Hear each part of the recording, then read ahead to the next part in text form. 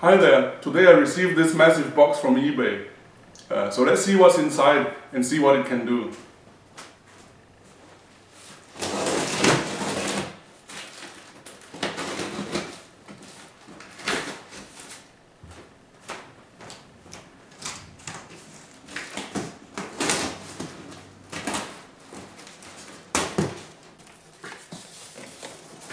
Oh,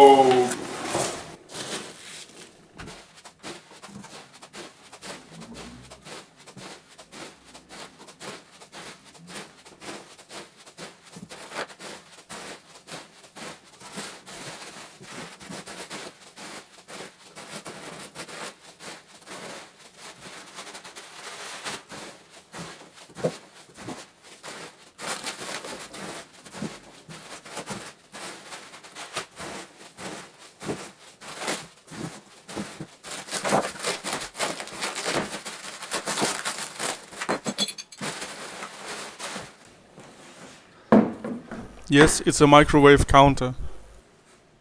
It has three inputs. The first one is a normal frequency counter that goes from 10 Hz to 100 MHz. The second band is from 10 MHz to 1 GHz. This is a 15 ohm uh, input impedance. And the last one, the band 3, is from uh, 1 GHz to 18 GHz. So let's remove all the warranty white stickers. And let's open it up and have a look inside.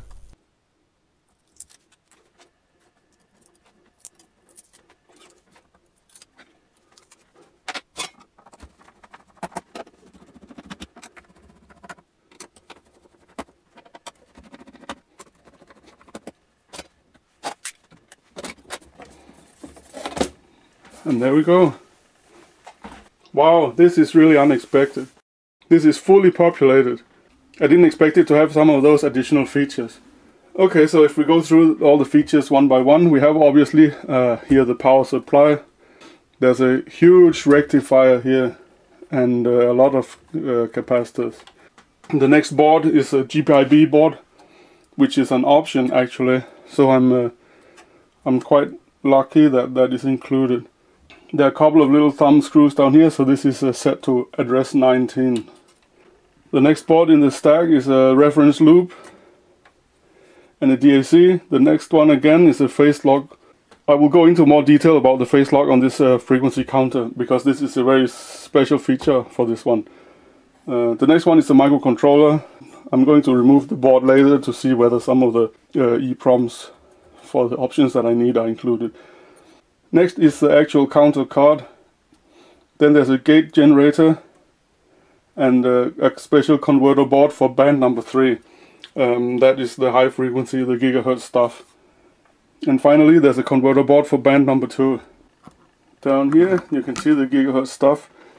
There's some kind of oscillator or whatever down here and then um, a converter assembly. Uh, so let's get get it powered on and see what it can do.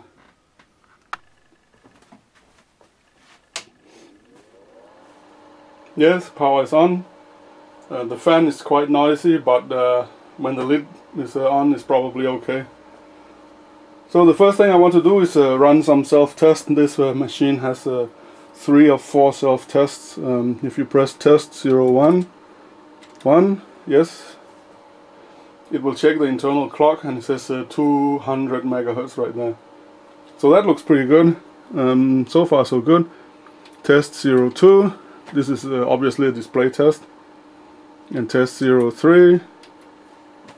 Yeah, maybe another display test. Uh, and test 04 was it? Another display test. Okay, let's stop all this testing and let's try uh, clear. And uh, what I really want to know is uh, whether it has a power level meter built in because if that's the case I'm uh, really really uh, happy. I have some specific use for this machine and I will talk about that in another video. Uh, but it's important that the power meter is working. So let's try that. Oh, oops. Error 13. So obviously the power meter is not working. The other thing that should not be working on this model is uh, band 2 uh, I only need it for the 1 gigahertz to, to 18 gigahertz band, so band 2 is not working. Uh, that's why I got it so cheap. Uh, I have checked the schematic. There's a service manual available online, and um, basically the power meter is just um, a DAC and a converter. So uh, I should be able to implement that maybe on a separate little daughter card or something. Um, but otherwise, the power meter card is uh, completely uh, identical to the 200 uh, 200 megahertz counter card. The only difference is that little DAC. So hopefully they've been using the same PCB, and I can just plug in a DAC, and that's that, and that's it. Okay, I have here my uh, Stabilock. So I set this up to 100 megahertz. If we take a look at my um, new uh, microwave counter, it shows uh, 99.999928 megahertz. So this is uh, definitely within the spec. Let's try uh, 20 megahertz. Boom! Unfortunately, they were right. Uh, band 2 doesn't work. Let's swap the probe to band 2. Uh, get it out of here, plug it into band 2. Set it to band 2. There we go. And uh, band 2 is not working. Um, I'll have to, to look at that. Um, but okay, let's uh, let's take out some of the cards and see what's inside. The board that I'm most interested in is the band 2 converter. So let's take uh, and get that out of the box here. Uh, there's a funny little clip, a ground clip, which can be removed very easily. And then you should be able to just pull the board out here. Yes, and we got it out. Uh, there's a massive bodge down here. Um, but otherwise, yeah, it looks pretty good. Uh, I should be able to get that working. The next one is the gate generator. This is where the power is measured if the chip is available. Um, so let's get that out and check if, oops, it's a little cable here. Are all the chips populated? Yes, but what do you know? Look up here, there's a chip missing. So to convert this board to uh, power measurement, it's just populating this DAC here and uh, a couple of other resistors. This is the board that I'm uh, really interested in. Uh, it consists of three things. Uh, the first thing in the middle here is the interface to the main CPU. The main CPU is on another board. Um, and this is basically just the address and data bus from a Motorola 6809 that controls everything here. So this is a par parallel port chip. Uh, on the left here we have a temperature controlled oscillator and we have uh, some uh, logic uh, gates. Um, I heard that these are ECL, um, but from what I can see here, it says uh, 74LS, so it's just normal TTL level uh, ICs, which makes uh, my life a little bit easier. Uh, on the right side, there's some analog stuff. There are a lot of DACs, and uh, I will go into detail about what they do uh, later on.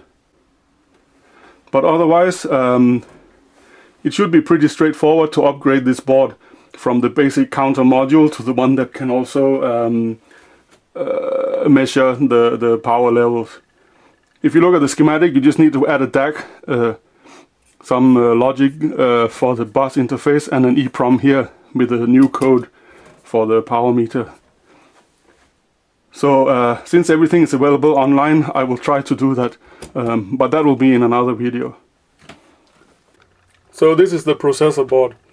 I'm really lucky that EEPROM 02B uh, is installed over here because that is the one for the um, level uh, measurement. Uh, I can see that someone has been inside and tried to do something here because um, these EEPROMs are without the label. Um, and also the labels on the other EEPROMs are just a paper sticker. Uh, this is really unfortunate because light can get in through paper. So I'll have to um, fix that as well. So that's it. I'll be doing a repair video, so check back soon.